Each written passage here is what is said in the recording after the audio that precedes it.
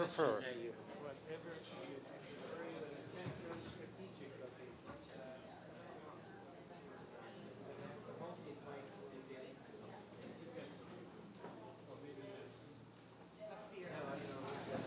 This is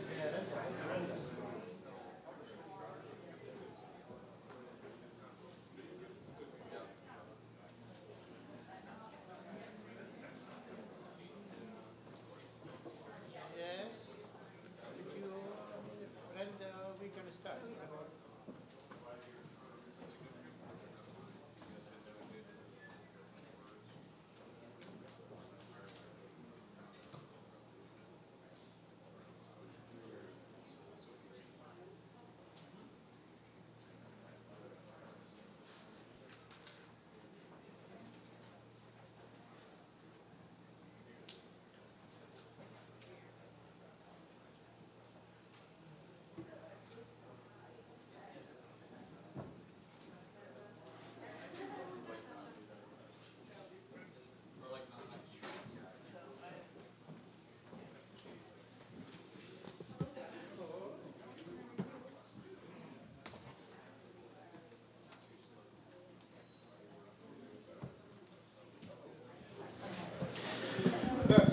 Good afternoon, everybody. Good afternoon. Uh, my name is Paul Salem, president of the Middle East Institute. Uh, I'd like to welcome all of you here today. I'd also especially like to welcome our former president, Ambassador Wendy Chamberlin. Good to see you again. uh, and we're really thrilled uh, to have this book talk today from one of our friends and colleagues, uh, Dr. Dan Serwer. Uh, his new book, From War to Peace in the Balkans, the Middle East, and Ukraine.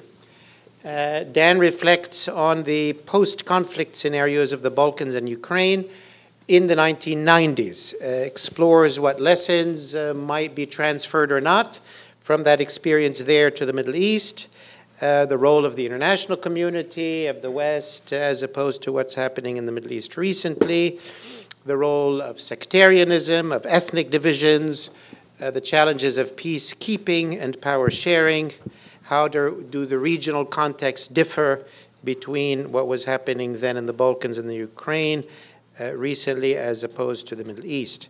So uh, uh today is an opportunity for us first to listen to his main sort of findings uh, from the book and his reflections on how lessons might have might need to be learned um, and to engage in a discussion with him and with our colleague Randa Slim as well. I will introduce both at this point.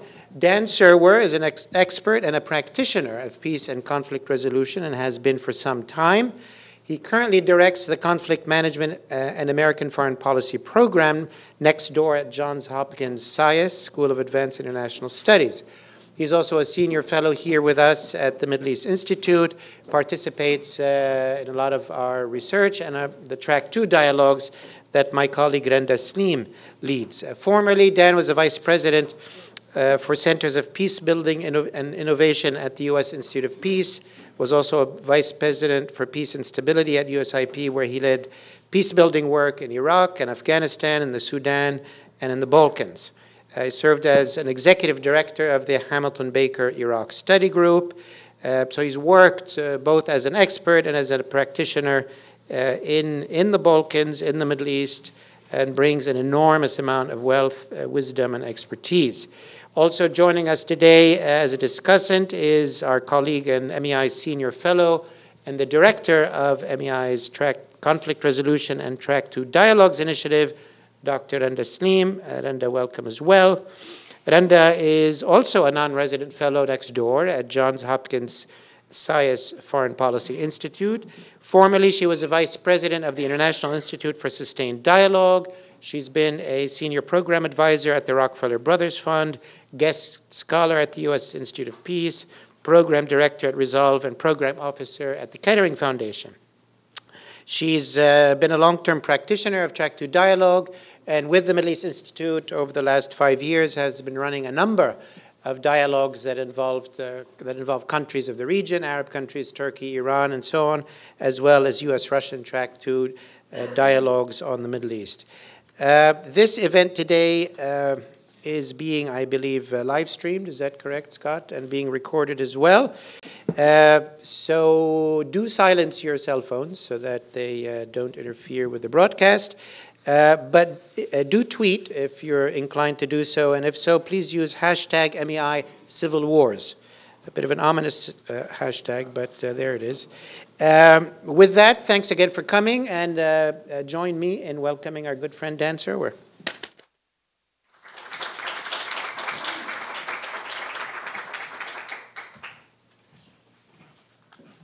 Thank you, Paul, for that kind introduction, and thank you for honoring the book uh, with this event and with this very ample audience. Let me encourage those who are standing outside. There are a few seats down front here, especially on this side. There's one over here as well. You're welcome to come and take them. Uh, before I go too far, because I always forget at the end, uh, to tell people how to get this book because you're not going to find it in bookstores. Uh, this is a modern book. Uh, uh, it, um, it's available for free on the internet, courtesy of my university, which paid for what's called open access, uh, uh, which is a way of guaranteeing the publisher a few bucks and then making it available worldwide. it's also purchasable in hardcover. It's a pretty hardcover. Uh, from uh, Amazon, also downloadable from Amazon. So the first thing to explain about this book is its title, From War to Peace in the Balkans, Middle East, and Ukraine. People don't think of these places as in any way related. In fact, it's actually hard to find a map on which these three places uh, are all shown but in practice, they are very close to each other. Uh, they are, in fact, uh, you do find, and I reproduce in the book, an Ottoman era map uh, of, of this sort. Uh, they're neighbors. They're neighbors, and they do share, uh, the relationship is not just geographical, they do share some, uh, some common history. The common history, above all, is in the Ottoman Empire, which was a patriarchal and exploitative empire, but did not make the efforts Western Europe indulged in to homogenize its populations. The result is a similar hodgepodge of what I would call non nation states. That is, they are not all one thing or all something else. In the Balkans, it's all about Muslims, Serbs, Croats, and Albanians, not to mention the Macedonians, Vlachs, Turks, Ashkali, Jews, and others. In the Middle East, it's about Sunni, Shia, Kurds, Christians, not to mention the Jews, the Mandaeans, the Shabak, and others. The Russians and Soviets uh, uh, also failed in rather vigorous efforts at times to extirpate Ukrainian identity. So what you have is uh, uh, people identify as Ukrainian or Russian, both coexisting and, and, and sometimes quarreling with each other, especially in Crimea. This history has political implications for today the concept of group rights, which exists both in the Balkans and the Middle East, is in part an Ottoman legacy. It assigns to some sectarian and ethnic groups veto power over key issues and some measure of self governance. The most important group right is the right to form the state and to claim privileges in it that, are, that others can't share we see this very clearly today in Israel, where the Ottoman heritage is betrayed in the claim that the state is Jewish. Uh, we see it, the same kinds of claims being made in Turkey, by Arabs in Syria, by Kurds in Kurdistan. Uh, so, uh, there is a kind of commonality in current issues that arises from the fact that the borders were not drawn around homogeneous populations.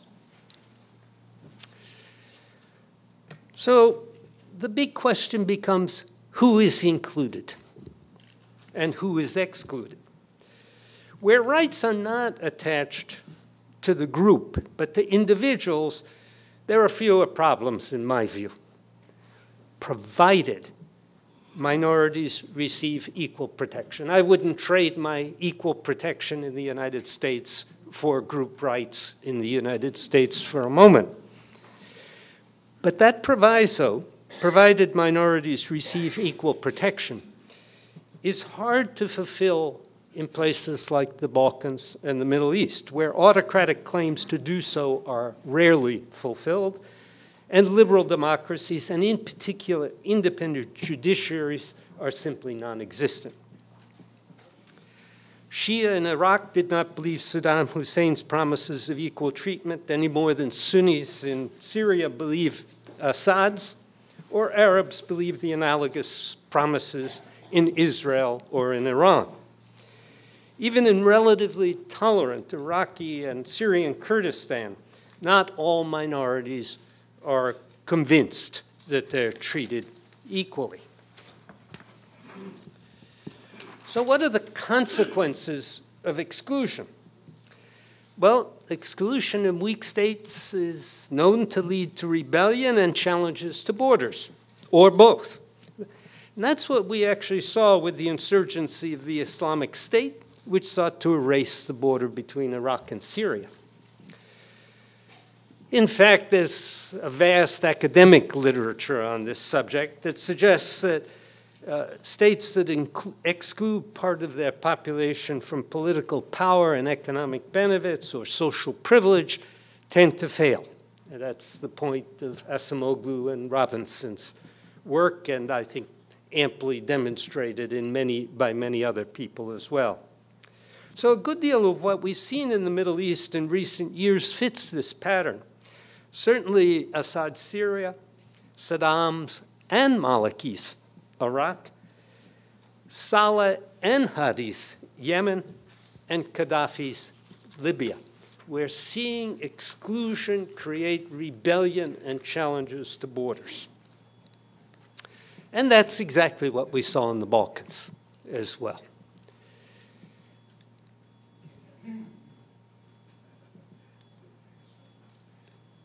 So, what are my conclusions from this? I'm going to skip over describing the Balkans in any detail. I'm assuming this audience isn't much interested in the Balkans.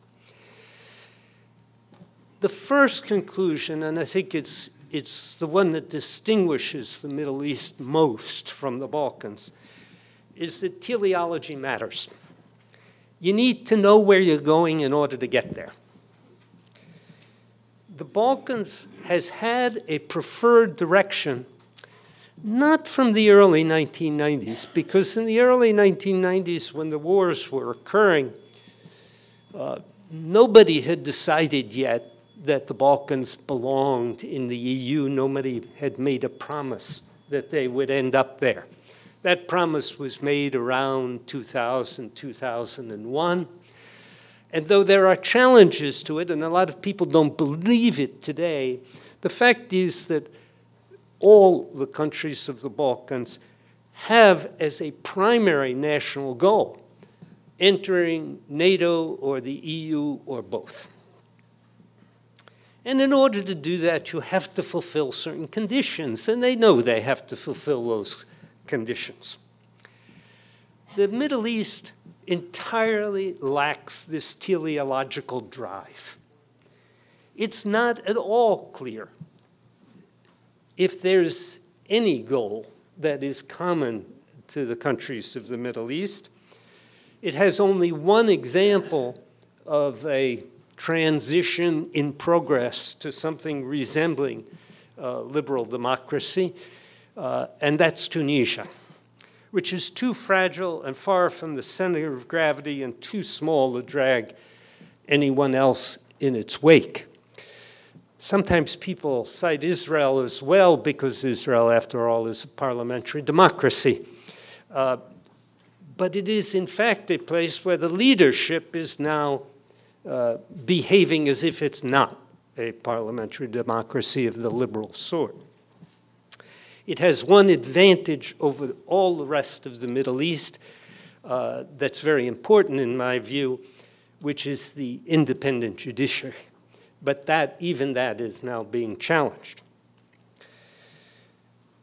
Let me add that uh, not only does the Middle East not have a preferred direction, but it has a conflict, the GCC conflict between Riyadh and Doha, essentially, though, of course, uh, Abu Dhabi, uh, Cairo, and Manama are also involved.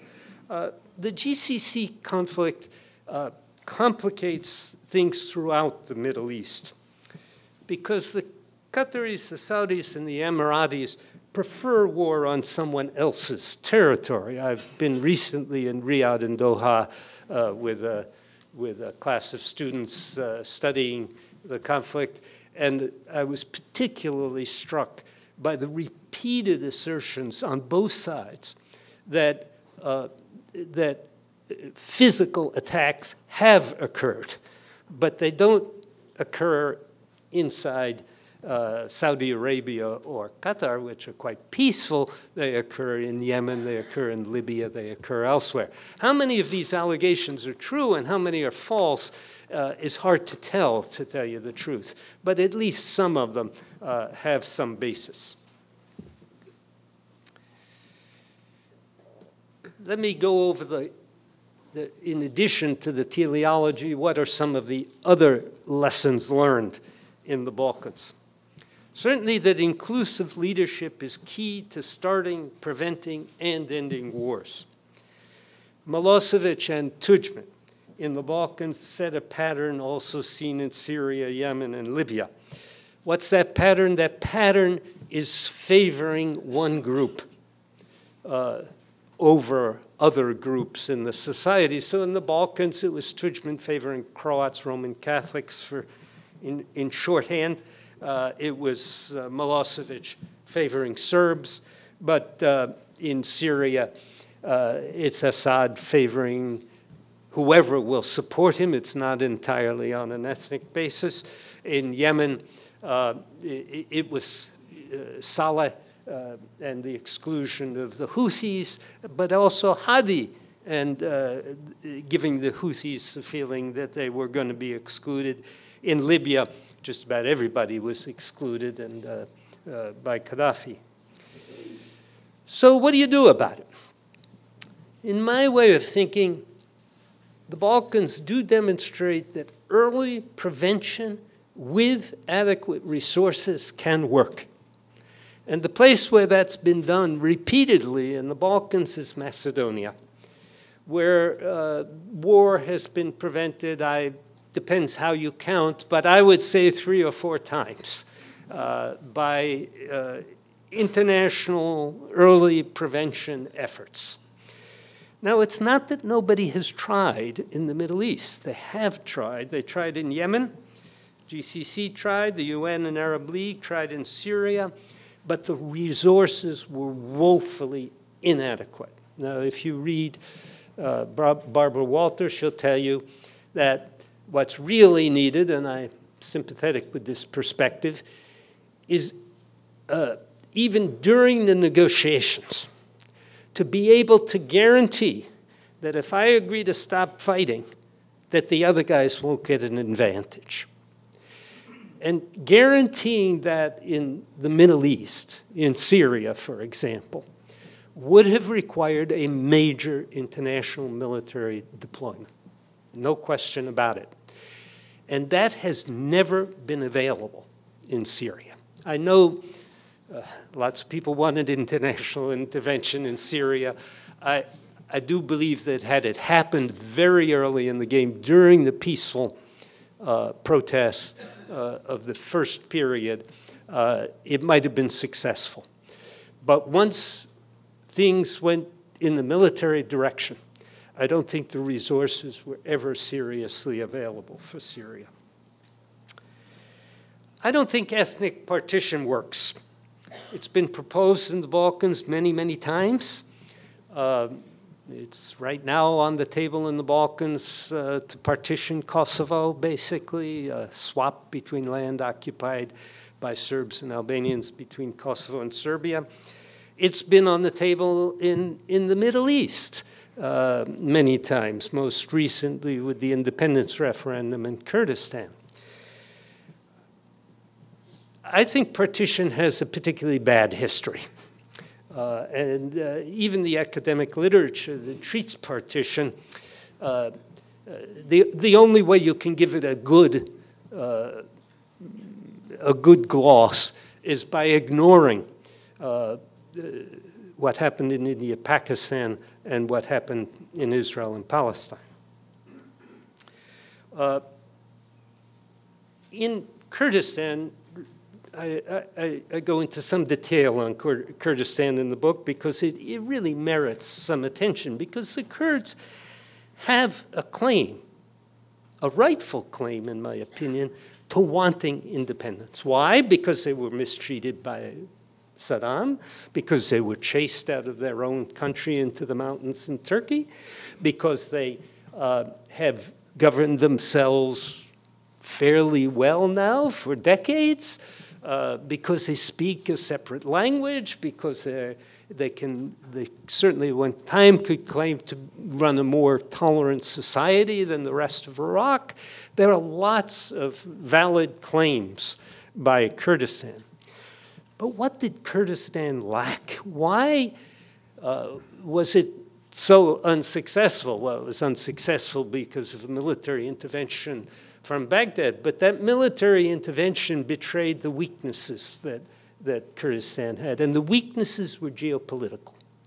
It had no approval by its neighbors Turkey, Iran, Baghdad, Syria, just hadn't, and that approval was, was uh, what helped with something like Montenegro or Kosovo, for example. Uh, it didn't have a defined border. And when borders are not agreed, the way they're settled is by force. So that's what happened. Uh, but I don't think it's wise to deny that the Kurds have good reason to seek independence and good reason to uh, claim that they have been excluded uh, in some respects inside Iraq.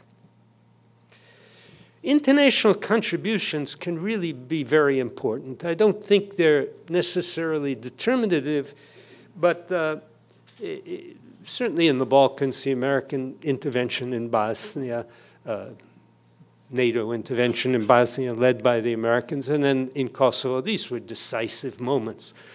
But note that they were decisive moments because they were sustained. They weren't sporadic, they weren't pinpricks, they weren't a single cruise missile raid on a single chemical weapons depot. US never cared enough about Syria to intervene in a serious way. But Russia, Turkey, and Iran have shown that they do. They, they, they did have interests enough to, to intervene in a serious way, and it's been decisive. The Americans also opted not to intervene in Libya, but the UAE did, and it's starting to look as if that might be decisive. UAE and Egypt, I would say, did, and it looks like that might be decisive. Neighborhood counts. Who your neighbors are is just terrifically important because they have interests and they're more willing to act on those interests. Certainly, we've seen the importance of uh, neighborhood in Syria, Iraq, Yemen, and the kingdom, Libya and Egypt. uh, very few of these civil wars could occur except for the engagement, one way or another, of neighbors. Not enough has been written about decentralization. There's a lot of literature on power sharing. And the academics will tell you that it's a pretty good idea after civil wars. I'm doubtful, and I think there's some evidence uh, against it.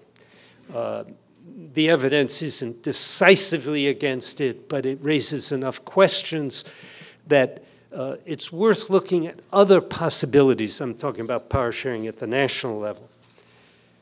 Decentralization is a way of sharing power by empowering provinces, localities. And I think it's a better pattern. It certainly proved very useful in the Balkans. Everywhere in the Balkans, it's proved vital to ending wars.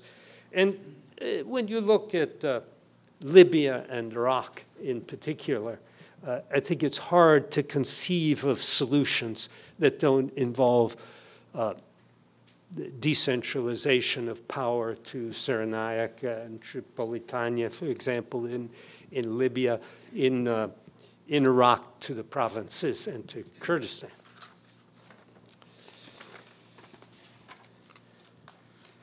So, what are the prospects in the Middle East?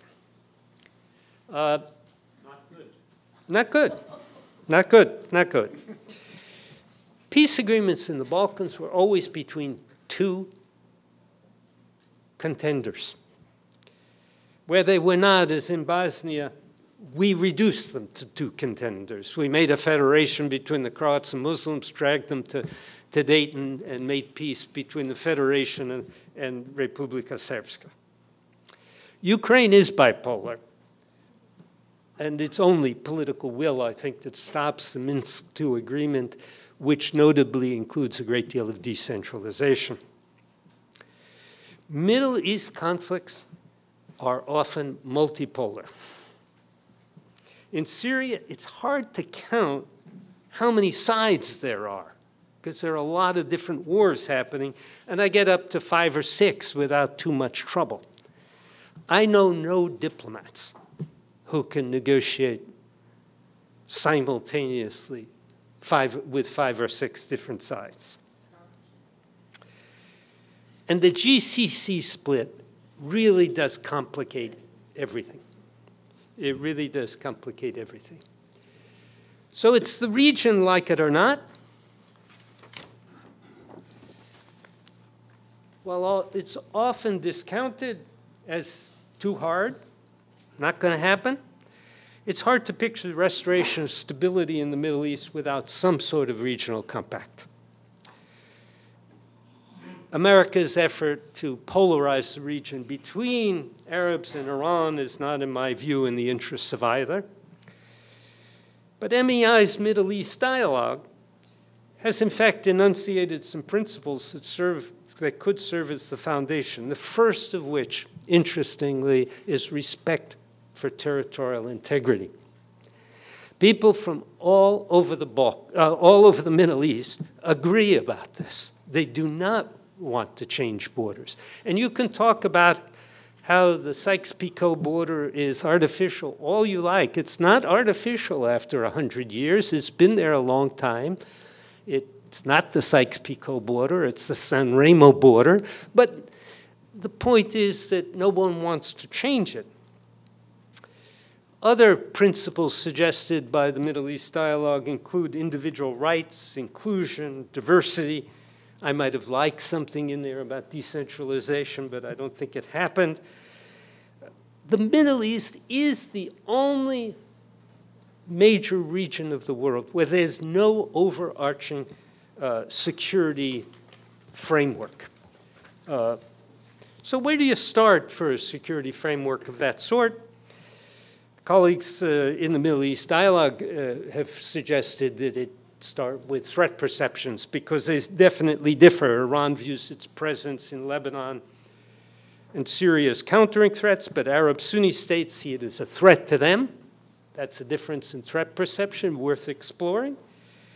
Another place to start is where interests overlap. I think uh, Iran and Saudi Arabia, after many years, are finally discovering that a stable Iraq might be a good idea. Uh, might not be so bad to have that buffer between them. And they're both uh, moving in that direction. A third place to start is where common interests are obvious global warming, the youth bulge, water shortages, all common throughout the Middle East. A fourth place to start, this is sort of my gig, uh, is with indigenous conflict management mechanisms, including both tribal practices common throughout the Middle East and the practices surrounding the various pilgrimages, because Middle Eastern countries do, in fact, resolve some very difficult conflicts, usually about once a year in advance of the pilgrimages. My bottom lines. The U.S. has been trying to decrease its presence in the Middle East for at least a decade. I'm the only person associated with the Middle East Institute, I think, who approves of this. I think we are too much exposed in the Middle East. But that effort to withdraw has failed because doing so leaves vacuums that have been filled by malevolent forces.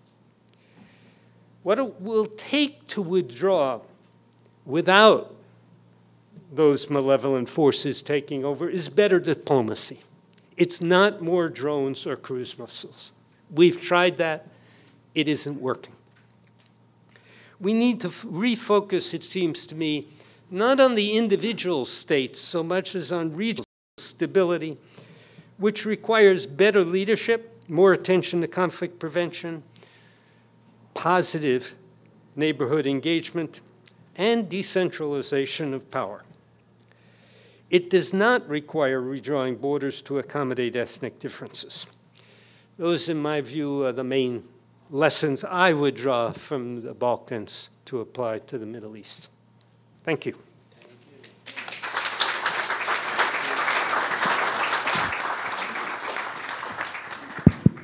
Thank you, Dan. Really, that was a fascinating, brilliant, insightful, a lot of excellent points and parallels and differences and lessons. a lot to talk about, and, but let's start directly with our discussant, uh, Dr. Randa Slim, for her comments, queries, quibbles. Randa, right. the floor is yours. Thank you, Paul, for your kind introduction, and it's a pleasure to be here with both Paul and Dan. Uh, let me first congratulate Dan on an excellent, insightful, very time, you know, and timely book. It's here. I read it over the weekend. It's a, quite an interesting read. I, you know, Dan earlier in his remark referred to that people, you know, people wonder how he can bring the Middle East, the Balkans, and the Ukraine. I'm one of those. So a while ago, when he told me that he's writing a book about the three, I remember saying to myself, okay, let's see how he's going to pull this together. And so, well, he did, and congratulations. Uh, the Middle East definitely is in need of major lessons learned from other regions. Definitely there are different conflict dynamics between the Middle East, even within the Middle East, between different conflicts in the region, between the Ukraine and the Middle East, the Balkan and the Middle East. Yet there are lessons to be learned. Uh, if we look, if we do a tour d'horizon of the region right now, um, between 2013 and 2017, the MENA region, Middle East and North Africa, alone accounted for 68% of the global battle-related death. Yemen is facing a famine. 80% of Yemenis are in need of humanitarian assistance. Syria, 5.6 million refugees, 6 million IDPs, and the Syria is, and the conflict is not yet over. It lost four times, the losses to its GDP are four times to the, its 2010 GDPs.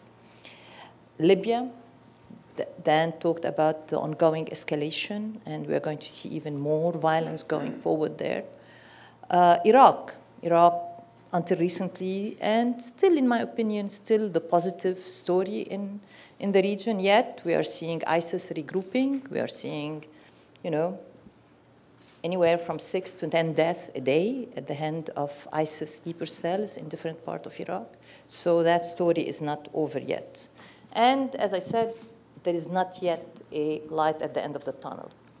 So hence the importance of looking at other regions that have moved from war to peace, like the Balkans, and what are the lessons for the Middle East.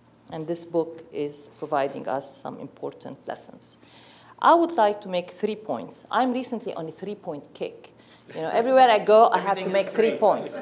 I'm heading from here to a World Bank panel. I have three points to make. So, anyway, so let me make three points in response or in comment, commenting on uh, the book and Dan's remark. And each of these points will, uh, I will be asking questions that hopefully Dan can answer in helping us unpack more of what the book really says about lessons. The first point uh, relates to peace building and sustaining peace. Um, traditionally, peace building and sustaining peace has been approached as an afterthought by international security and development aid organizations like the UN and the World Bank. It's an area that has been often under-prioritized and underfunded. The focus always has been on how we move from war to peace through peacemaking, mostly mediated negotiation, and then how we enforce peace through peacekeeping as well as what other financial incentives to sweeten the deal for combatants. Yet we know from research that 25% of all peace agreements relapse into violence within five years, leading to some, to more and intense cycles of violence and eventually to protraction of the conflict. So sustaining the peace needs to be part of the planning of any intervention to end wars from the get-go. So in this respect, I have two-part question for you uh, in terms of the Balkans, but also their implication for the MENA region.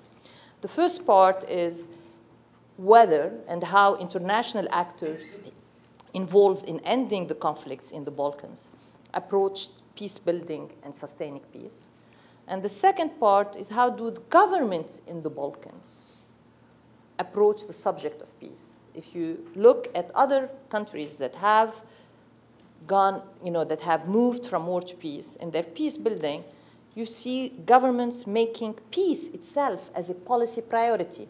Ghana, Guinea, Costa Rica, uh, Kenya, Costa Rica, uh, Colombia. So, uh, so how, I mean, what, where does peace as a policy, you know, fit today with the Balkan governments. Um, um, and, and, so, and what does that mean uh, for the Middle East? We can discuss that. The second point you make is about power sharing. I get your point that, you know, there's too much emphasis on power sharing, not enough on decentralization. Yet, I think many of these raging conflicts in the Middle East today any settlement, political settlement in the future, in any one of them, will have to involve some kind of power sharing and decentralization. I do not see it either or. It has to have power sharing at the national level as well as decentralization at the local, regional, and at, you know, levels.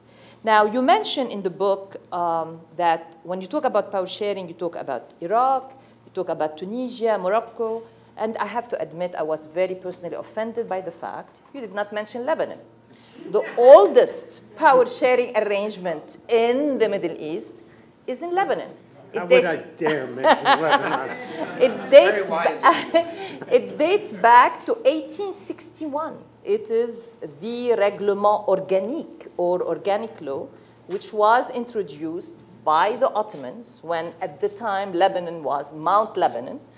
And after a civil war that pitted Druze warlord landlords against peasants, Maronite peasants, mostly Maronite peasants, the Ottomans, along with a consortium of five European powers, including France, UK, Prussia, Russia, and I'm forgetting what, Austria, introduced this Règlement Organique, which basically recognized the religious communities of Mount Lebanon, the six principal ones, three Christian, three Muslims, as, as being political actors and imposed or introduced and imposed an administrative council.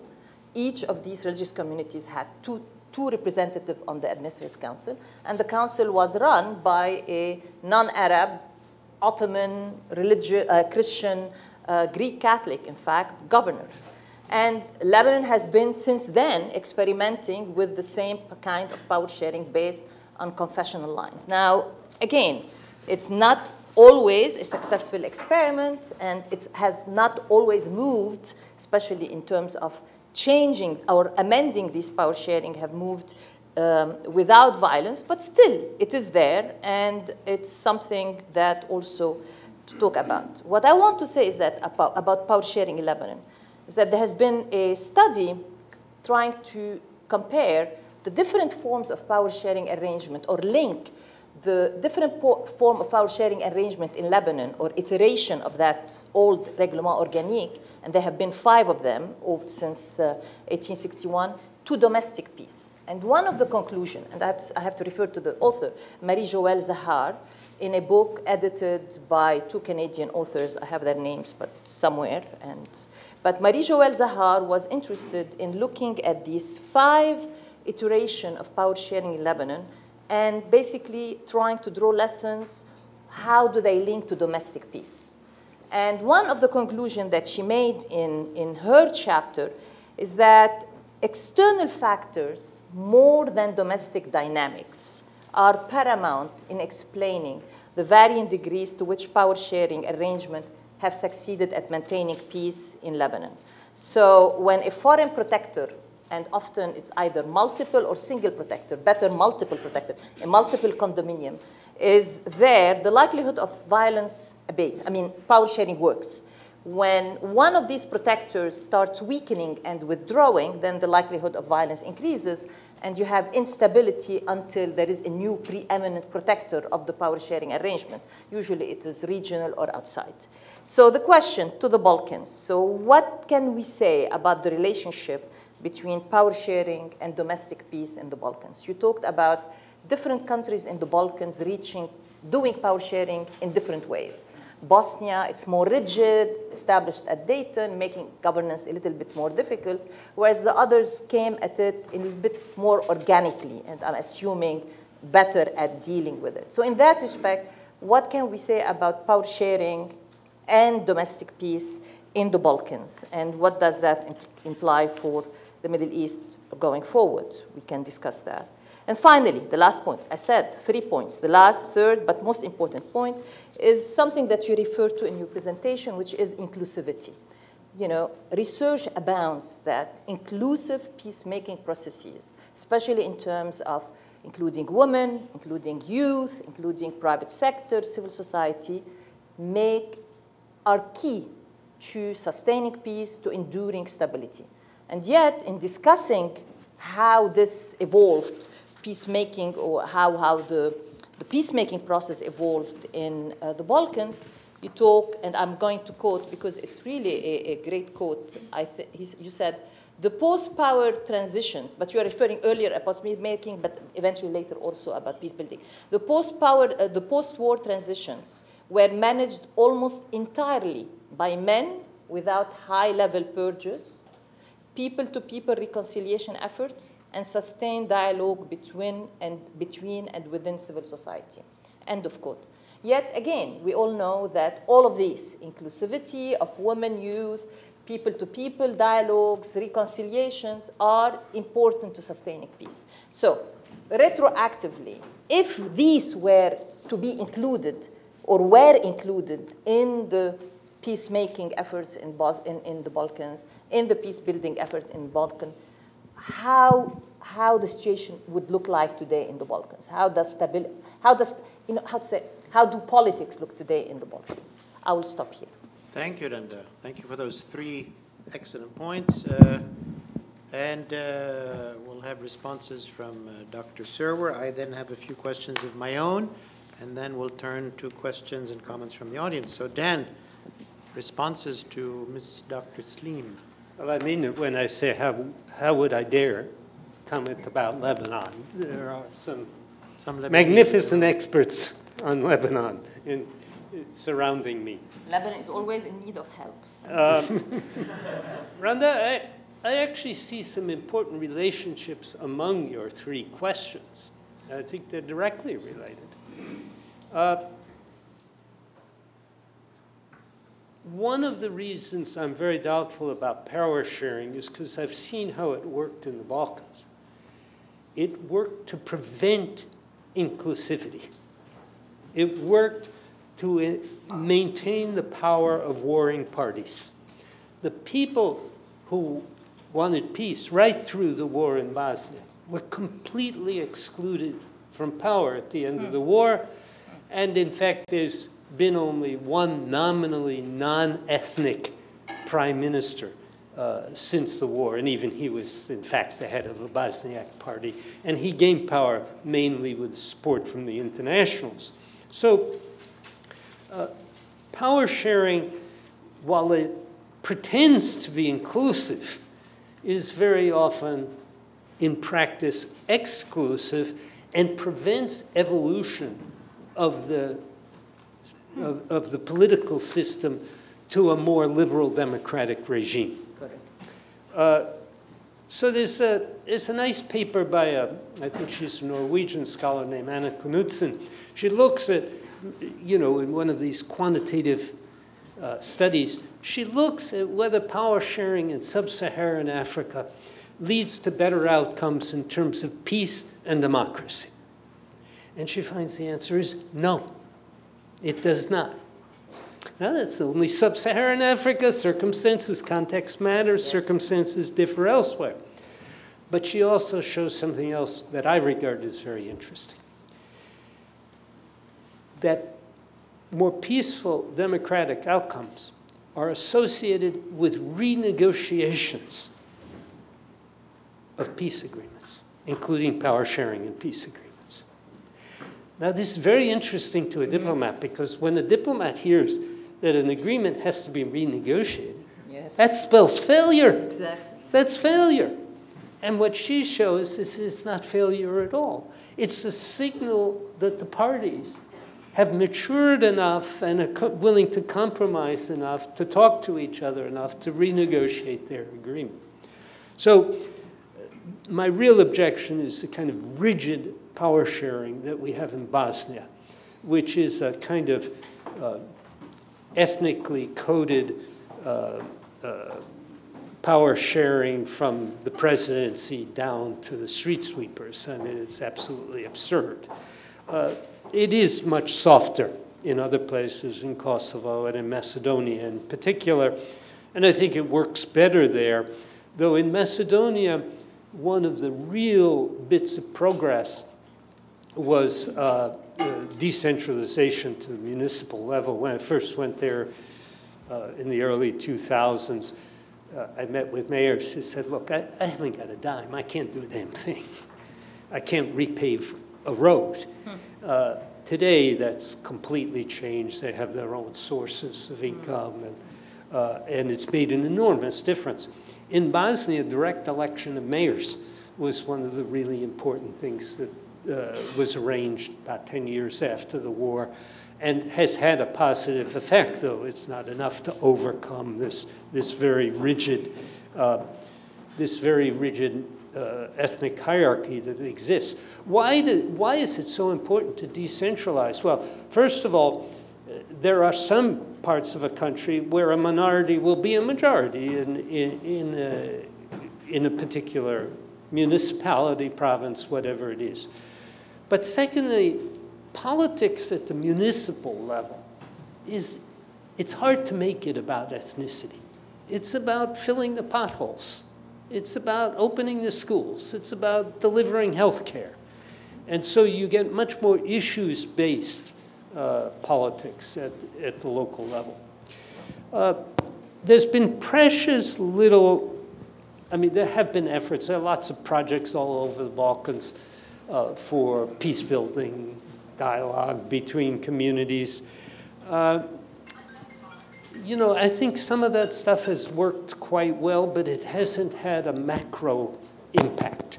So that many of the uh, driving factors of the wartime period are still very present in the Balkans, and it's very visible to anybody who goes there. It's peaceful, it's safe. It's people get along perfectly well in the street every day. but when it comes to politics, it's still driven by the same ethnic territoriality that, that, that uh, drove the wartime Can I, can situation. I, can I interrupt here? Please. You said that some advisors of the Trump administration are now advising Balkan leaders. They are, who is, are you referring to? I don't remember all the names, so what's his Paul name? Manafort? Bannon? But- No, no, Bannon has been there. Yeah. Uh, I'm starting to get worried about the Balkans. so- Well, th- th- th- that's exactly right. I mean, one of the things that is unsettling in the Balkans today, and should be unsettling in the Middle East and in Ukraine, is that the United States has an ethnic nationalist administration. I don't think there's any doubt about this any longer. It's a, uh, uh, I would call it a white supremacist administration. Uh, others will call it other things, but uh, it, it is an, it, it believes in, in ethnic identity as fundamental uh, to uh, the identity of the United States and of Americans, which is very exclusive vis-a-vis me because I'm not, I didn't grow up as one of the majority in the United States, even if today Jews are regarded as part of the majority. That wasn't true 50 years ago. We were part of the minority. And uh, uh, I've, I've never grown out of that, let's put it that way. Um, so, uh, Kosovo, Serbia, give you an example, there's never been a program of exchange of visits across the Kosovo-Serbia border as there was between France and Germany after World War II, which had a tremendously positive impact. Uh, in the Middle East, I think we also don't see that kind of Saudi Iranian. for effort. Yeah. Uh, the Saudis and Iranian, I mean, the Qataris and the Saudis, the current leadership of Qatar and Saudi Arabia, according to my informants, don't know each other at all. And it's appalling. It's appalling. And that's one of the many things that some sort of overarching security framework would, would fix. Thank you, Dan. Uh, I also found the book extremely fascinating and raised so many interesting parallels and, and questions and points. And I want to just pose a few comments or questions to you, Dan, and if you know, care to comment or some on some or all or whatever. And some sort of statements that uh, struck me. You say at one point uh, that some people you were you know, talking with said it was better under Tito. And that really struck me because, I mean, obviously, if you look at Iraq, a lot of people say things were better under Saddam, things were better under Gaddafi, and many things indeed were. And that affects the narrative uh, of what is going on historically in these countries. Uh, is it regression or is it progress or is it some elements of both? When I look at Iraq today, and maybe I echo a little bit what Randa said, you know, with all the devastation and mistakes and all of that, there is a form of progress there in attempting to hammer out, you know, some form of governance and coexistence and all of that, that it's historically necessary and possibly going in a progressive, you know, overall direction. But others look at it as just, you know, utterly, you know, regressive, negative, and so on. I was wondering, you know, given that that same question is coming up in the Balkans, how do they see it? A second big takeaway for me was that, and you make this point in a sense, the international community can do this. They can often prevent the war from taking place. They can often stop the civil war cold or from continuing. And they can, through intensive civilian and political action, help end wars and do state building. Now, it's difficult, it's not perfect, and so on, but it is possible. And that, again, links to a narrative towards the recent Middle East, particularly under the Obama administration, where the argument was the reality was there was no will. The argument was it's too complicated and it never works out and it can't be done. And making the point that it can be done, I think, is very important. Third thing that struck me uh, uh, is that personalities matter. That whereas you're looking at all these systemic things and drivers and regional order and all of that, the, what Mr. Milosevic decided to do and what Mr. Assad decides to do and what Mr. Maliki decides to do is critical to history. And so, how do you measure the impact of the person and how much is systemic and sort of broad forces? I was struck also very much with the parallels in the security dilemma. That when the Serbs do something to what they see as protecting themselves, like the Iranians have an army in Lebanon to protect themselves, well, obviously that becomes a problem for somebody else, and everybody becomes intertwined in what you call a security dilemma or a conflict trap. And that, you know, that important parallel is that, and you ended with that in your remarks, that to end civil wars, you have to first fix the regional systemic problem. That the, a lot of these civil wars are symptoms, and certainly working towards regional de escalation, regional order is a very, very important thing. On the issue of bipolar societies and power sharing and all of that, it's interesting that in the literature on consociational democracy, political science, and power sharing and governing plural societies, uh, the argument made there through their research, like Arend Lijphart and others, is actually bipolar is much more difficult than multipolar. Uh, now, I get the arguments on both sides, but that in that literature, uh, bipolar is seen as the most difficult because there's an obvious you know, majority and minority, winner and loser. So why should I share power? I'm the majority. And it sort of comes up in the Iraqi case that Iraq is half majority minority Correct. and half tri yes. tripolar. Yes. And the tripolar works better than the bipolar yeah. for the Iraqi case. And Lebanon was lucky in a way, and is lucky today that it's not the old bipolar Muslim Christian, it's actually tripolar, Sunnis, Shias, and Christians. And there's no, there's no winner, nobody can take it all, so you have to share power. In the power sharing question, I agree absolutely. Decentralization is, is actually a form of power sharing. And, and I think the issue of power sharing uh, is exceedingly complex. Uh, and there are a number of issues that are raised by it. One is, to my mind, at the ends of civil wars, there has to be some measure of power sharing simply because the groups often wouldn't accept anything else. So, there's a reality to it. Um, uh, but that the, uh, uh, the, the system, there are two questions. One is how, who is sharing power? I mean, when you said power sharing is it's, it's exclusive, it's because it's, oh, it's power sharing among corrupt warlords who exclude young people or women or civil society. So the problem there is not power sharing, it's who is sharing the power. Uh, uh, second point about power sharing is, it, is can it evolve? Like you say, can it be renegotiated? Yes, maybe in a, right at the end of the war, you have to have a certain type of power sharing, but 10 years and 20 years down the road, what's the mechanism for evolution of the political system in general?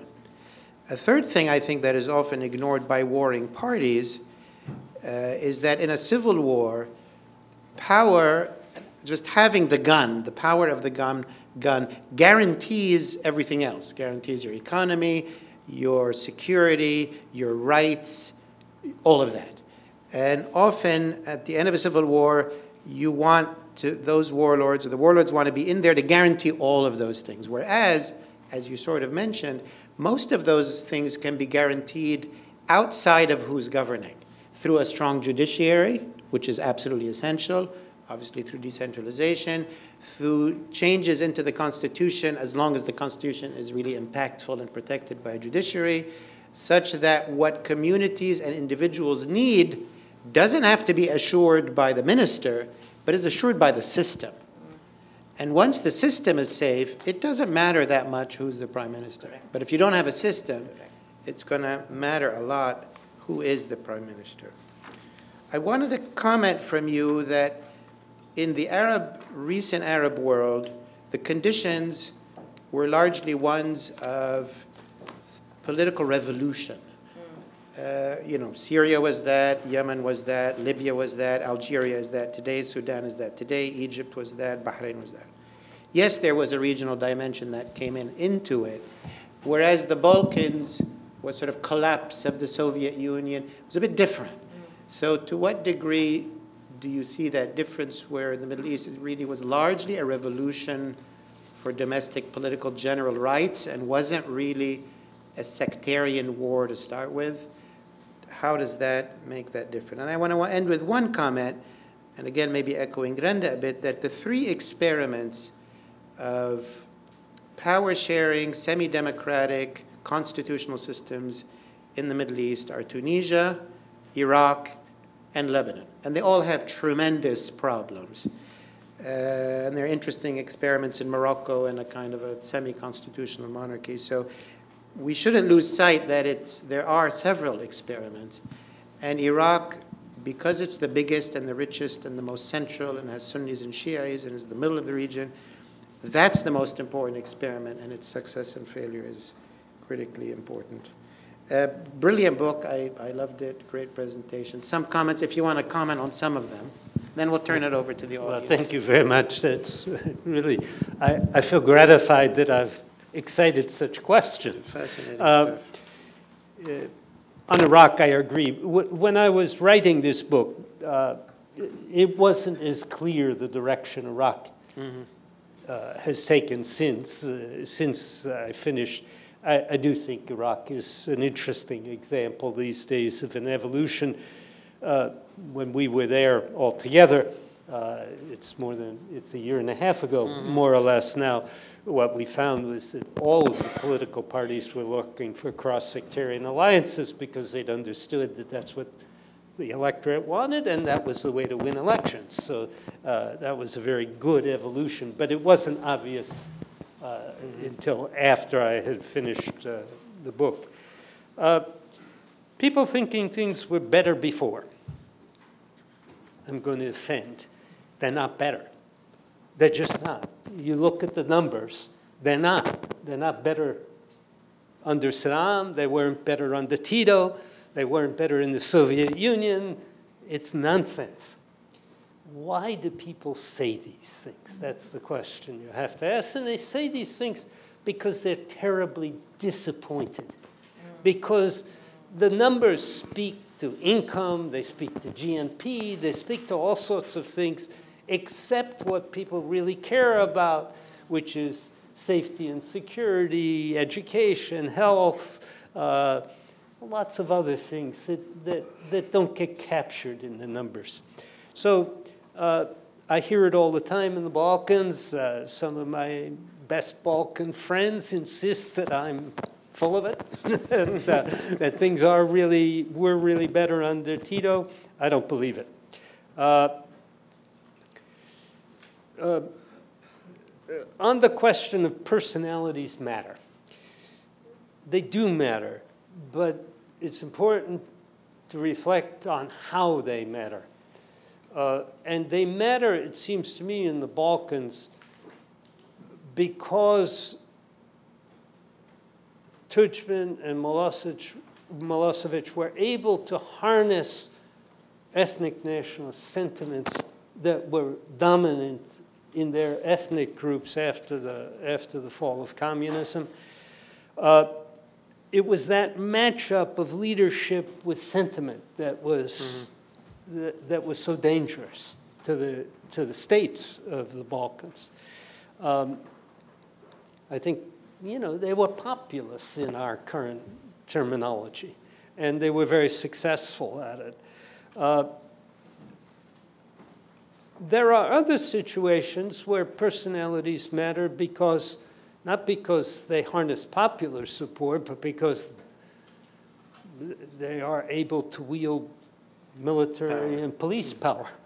And that was, uh, I don't think Saddam was very popular. Uh, um, I don't, I don't think Brezhnev was very popular. They, they, they harnessed uh, real power, hard power. Security dilemmas every place. I mean, everybody, nobody who commits atrocities does it without thinking that atrocities have been committed against them. That's my rule of thumb. I want to know okay, you committed this atrocity. What was it that was done to you that you thought justified this? Because people do justify atrocities, and they justify it by claiming to be victims of atrocities. Uh, on the bipolar versus multipolar question, my assertion was not meant to apply to uh, the consociationalism itself, because after all, in Bosnia, that's tripartite. It was meant to apply to the diplomatic negotiations.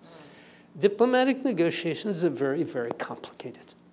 And to do them between more than two sides is extraordinarily difficult. So when I called Bob Frasure during the initiative that led to Dayton, uh, there was a peace plan, Tony Lake's peace plan.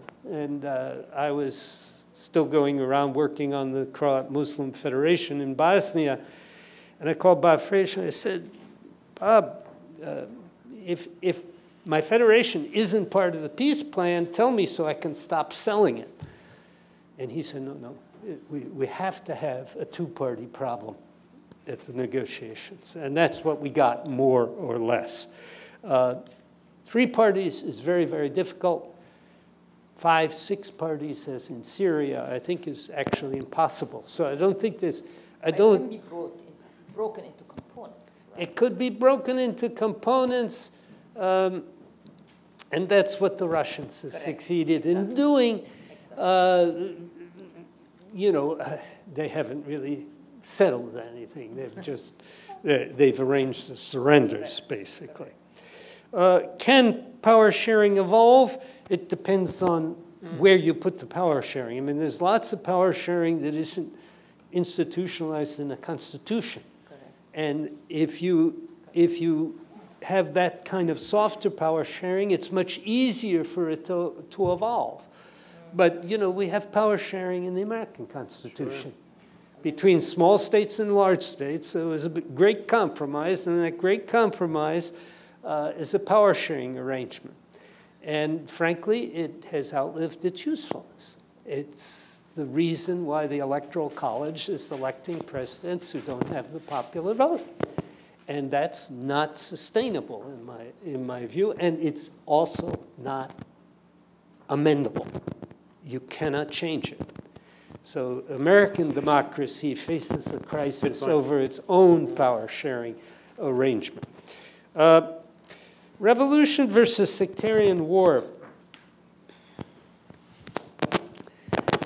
Uh, a lot of the people involved in sectarian war think of it as revolution, actually, but I think there is a difference.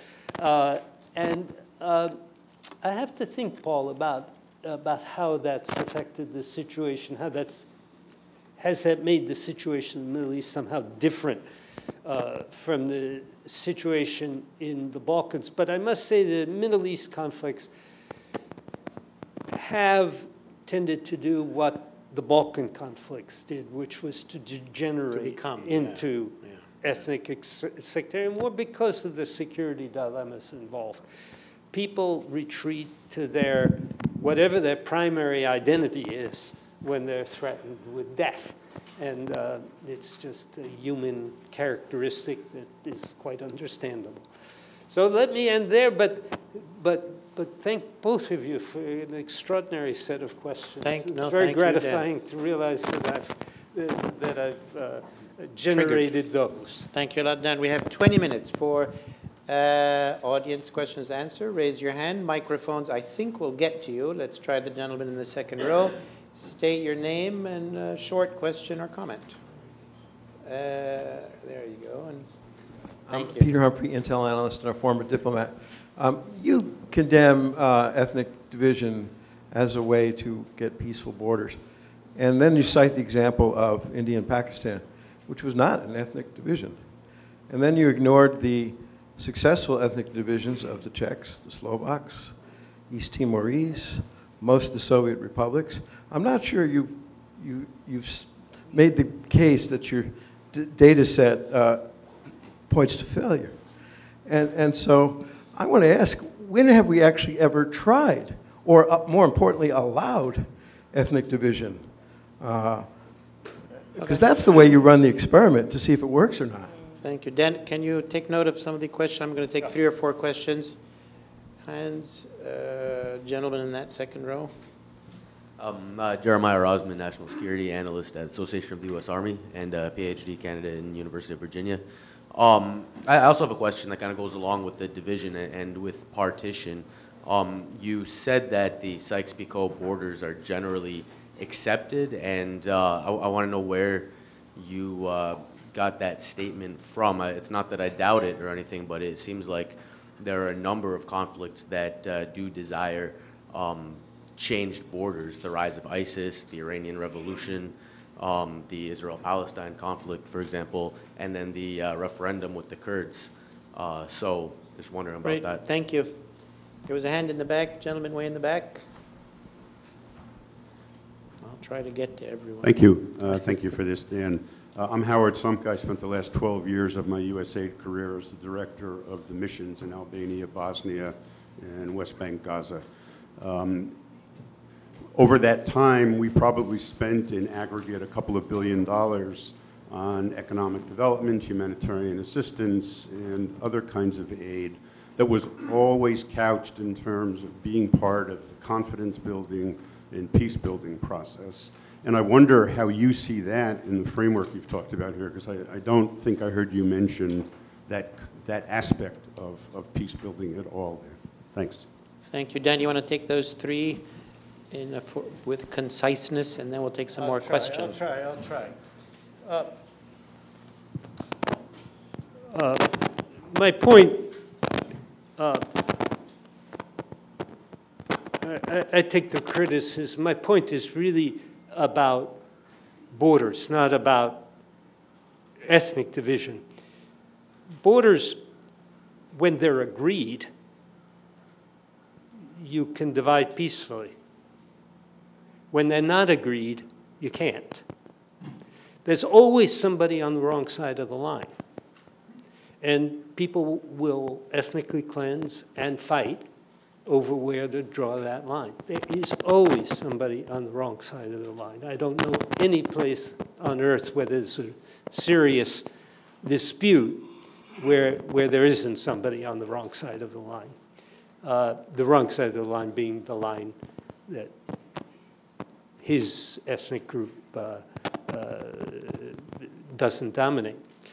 Uh, so the, the point is really about agreement about borders, and that, that's where Kurdistan failed miserably. They hadn't had any agreement on the borders yet. Uh,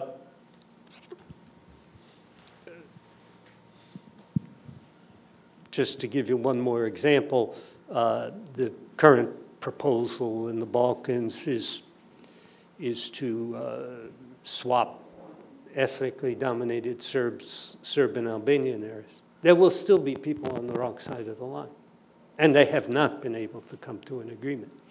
So first, of all, I know when borders are disputed, there are disputes. There are no disputes between Iraq and Syria over the border that I know of. Anybody want to correct me?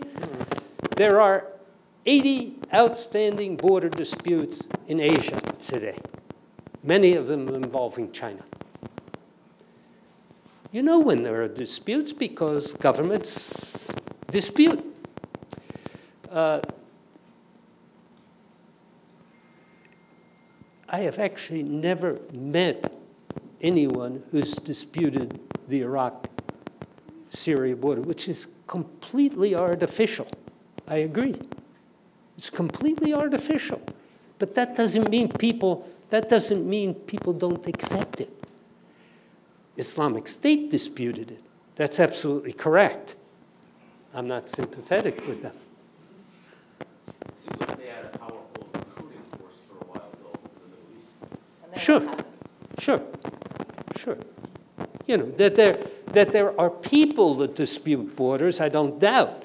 That there are governments that dispute borders, I do doubt, because in the Middle East, except for the Iran-Iraq border, over which they fought a war, of course, there aren't many disputes over borders. Uh, there's no dispute in the Golan Heights. There's a territorial annexation, but there's no real dispute.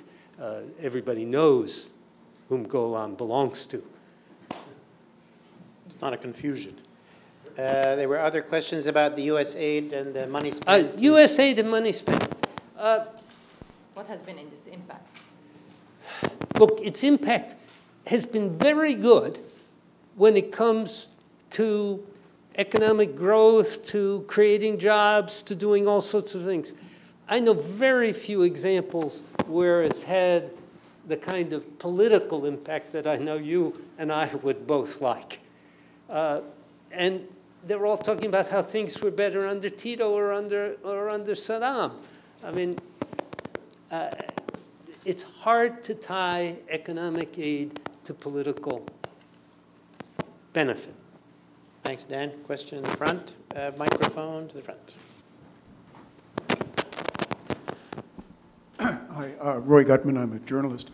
Uh, Dan, uh, I didn't hear very much about Ukraine, and I'm not sure how your matrix applies uh, to it. Um, and the other thing I'm missing is uh, an explicit mention of the importance of, of having a real constitution that is upheld uh, with the you mentioned the judiciary. Um, it seems to me that if you look even at Saudi Arabia, uh, and certainly in, in really every country in the, in, the, in the region, there's a drive by certainly the younger population and the educated older population, which is considerable in many of these countries, for a modern state. And that this uh, is something that, that the dictatorships cannot deliver. They want to be part of the modern world. And there seems to, it seems to me there has to be some path uh, that uh, somebody carves out or somebody describes that, that will bring them to modernity. That's what it seems to me the Arab Spring was about. Thank you, Roy. Other questions? Hand in the back, young man in the back. Uh, Dominic Kachapur, I'm with FHI 360, and I just had a question about, um, I guess, the involvement, the involvement of, uh, of an agreement, of a peace agreement, for example, for Dayton. Um, when that was negotiated, was it expected that that would be end up being the de facto constitution of the country? And then, um, were you also was it an expectation that the minorities, meaning especially a, a, smaller minority like the Croats, would give up such exemplary power that they have on true equal footing in order to move the country uh, forward? Thank you. Thank you. Any last question? Uh, two last questions. Gentlemen in that row. Um, I, I, like the list of bottom lines. Uh, sorry, Patrick Crump, uh, international development practitioner in the Middle East and uh, also the Caucasus.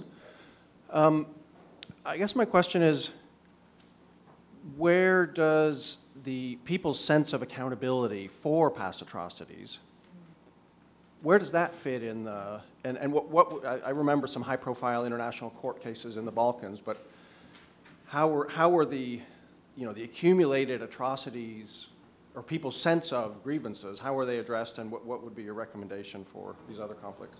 Thank you. Last question here in the front, I believe.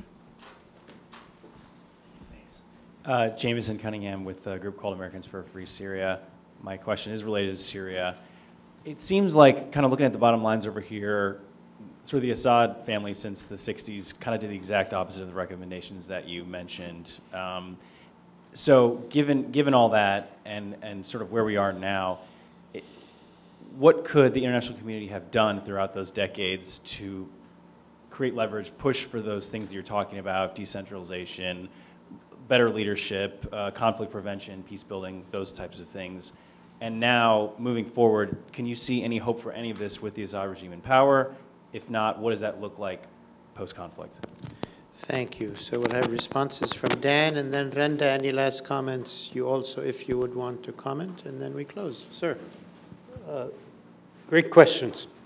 Uh, yes, modernization is the the thing you find everybody wanting in the Middle East. And not only the Arab Spring demonstrators, but when you visit Doha and Riyadh, all I want to talk to you about is who's more modern, who's doing more to modernize. Uh, the sad fact is that uh, modernization is seen much more concretely throughout the Middle East, I think, in infrastructure than it is in court systems. So you get this, this overwhelming emphasis on building skyscrapers and very little on building independent judiciaries, which are harder to build and take longer than skyscrapers. Uh, but I don't know a lot of, you know, there is, of course, a, a layer of Western educated people who are worried about independent judiciaries. But I've actually never heard uh, a Middle Eastern politician talk much about them, and they rarely, they rarely arise in the political discourse. Uh, I'm downplaying Ukraine at this session because we're at the Middle East Institute. I'm hoping to arrange something at USIP where we'll talk about Ukraine. Uh, and you can go there. uh, on the Dayton Constitution, look, we went to Dayton thinking that the peace we were, were arranging was very unlikely to last. And when we finished there, we were really quite sure that it was unlikely to last. So we wrote a constitution. I didn't write it. Jim O'Brien wrote it. But we wrote a constitution that was very difficult to amend because we were convinced that if we gave them the opportunity to amend it, that the whole thing would fall apart. So it was intentional. Uh, a lot of people criticize it now, saying you should have provided for some sort of review mechanism. Yeah. But the fact of the matter is, we didn't think it would last until a review mechanism if we allowed for one. So we didn't allow for one, and now people are stuck with what they've got. Nevertheless, uh, my friend Jim O'Brien is a very bright guy. And he wrote into the Dayton Constitution the entire European Convention on Human Rights. And that's the reason why parts of that Constitution have been challenged in court in Europe and have been declared inadmissible.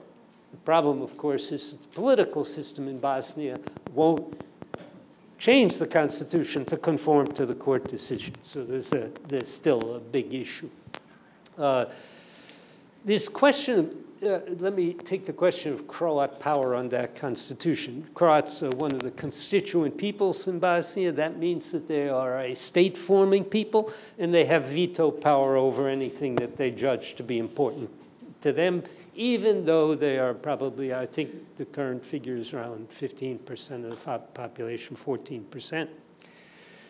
This is a problem wherever you make power sharing is profoundly anti-democratic. It empowers people beyond their numbers in the society. That's its purpose. Uh, so is that wise to do? I don't think it's wise to do in constitutions. Uh, I think constitutions are just too hard to change. And this has to be renegotiated because populations change, because political circumstances change. Now, it is true that in the Balkans, in Bosnia in particular, the High Representative intervened at one point to, to change this a bit. Uh, but that's uh, turned out to be a very big political issue today. Uh, quarrels over renegotiating power sharing I find particularly unproductive and uh, is one of the reasons why I prefer not to see power sharing written into constitutions. Uh, accountability for past crimes. It has never had the positive impact we had hoped in the Balkans. Hmm. The truth of the matter is that all hundred odd war criminals in the Balkans have been arrested and sent to The Hague in what was really an extraordinary operation. I mean, it, it's just fantastic that they were all captured, and it made a difference because had they remained in their home countries, it would have been a political factor that would have made things much more difficult. Try Milosevic in Belgrade. You go and try. Uh, That said, the trials themselves don't have a good impact because the war criminals, when they're condemned, are treated as heroes in their own country. The defense is paid for lavishly by their home, by their home ethnic group. Uh, it's, the whole thing has not had the impact everybody had hoped. I think today people think that some kind of hybrid judicial system in which there are internationals mixed in with local judges uh, is a better way to go. We did that in Kosovo somewhat successfully so far. Uh, and uh, it, it, seems to me to be a, a good idea. I'm not an enthusiast for the uh, courts in The Hague because they haven't had a positive impact and because they're extraordinarily expensive. They really are. Uh, on Syria?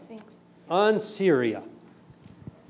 Uh, Assad has done the opposite of all of these things. That's right. Could we have done something to mitigate Assad? Uh, I'm sure we could have. A thousand things. Nobody cared to do it. He was more a partner than anything else. We were so grateful that Syria was taking refugees from Iraq that we weren't going to bend his arm about municipal governance in Syria, that's for sure. What can be done now? I've been thinking about this hard. I haven't written anything about Syria in, in the dog's age because what are you going to say? It's, it's, it's dreadful. I think the best that can be done now is to carefully document what's being done in the post-war period. The Russians, the Iranians, the Syrians, the Turks are all going to be doing things. And there's going to be reconstruction, but it's going to be in their image, not in ours. And I think transparency about that is extraordinarily important now. And I see very, very little of it. There's very little good writing coming out about the situation inside regime-controlled areas in Syria. And that's what really counts now. So I'd like to see more of that. Thank you, Dan. Randa, do you have any last thoughts? No, no. I mean, okay. Dan has exhausted. Said it all. Well, this has been a fascinating, excellent session. Dan, congratulations on the book. Uh, thank you all for coming. Join me in thanking thank you all. Dan and Randa. Thank you.